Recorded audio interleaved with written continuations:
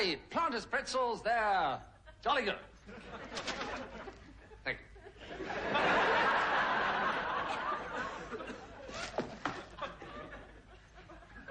Well, there appear to be a few seconds left, so I'll just say it again. Aye, Planters pretzels, they're jolly good.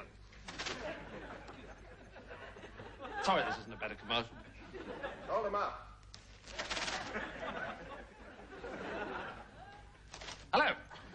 Planters, the pretzel people, have asked me to apologize for the last commercial that I made for them uh, for their pretzels. I mean, I'm apologizing for the commercial and not for the pretzels, which are absolutely jolly good, aren't they? Yes.